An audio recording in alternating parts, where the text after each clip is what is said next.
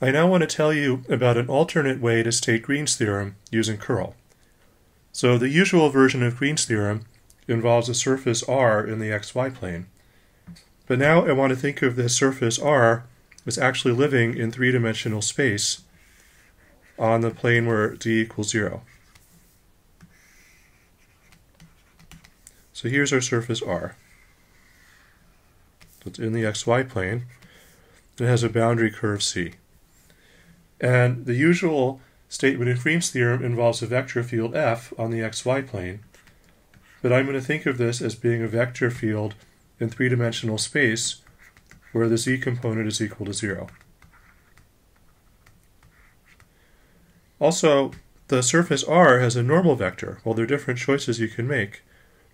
But we could look at the vector 0, 0, 1, so it just goes in the positive z direction, and that's perpendicular to the surface.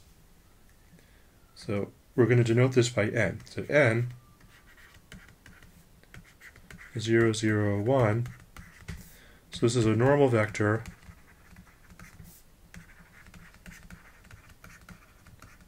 to the surface R. And now the alternate statement of Green's theorem is that the integral over c of f dot dr, where c is given the positive orientation as the boundary of R, is equal to the double integral over R of curl of f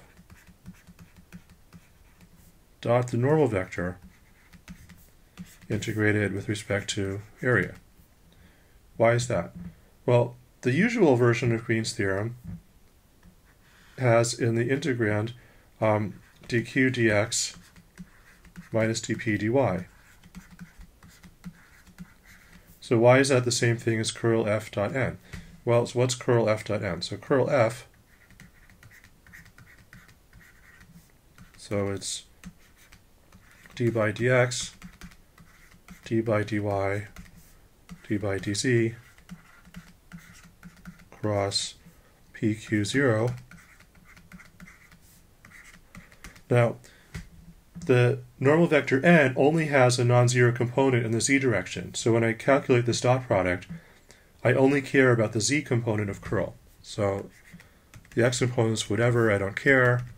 And then the z component is um, d by dx of q minus d by dy of p.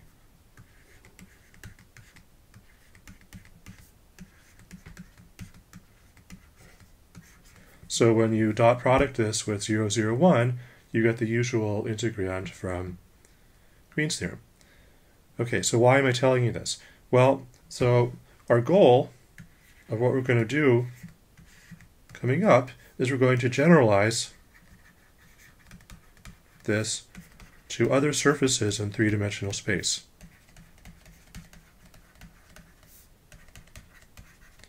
So we're going to look at surfaces which are not in the xy plane, which which can be curved. They could be you know like spheres or quadratic surfaces or other surfaces. And we're going to find a formula which relates the integral of a vector field around the boundary of the surface to something involving the curl over the whole surface.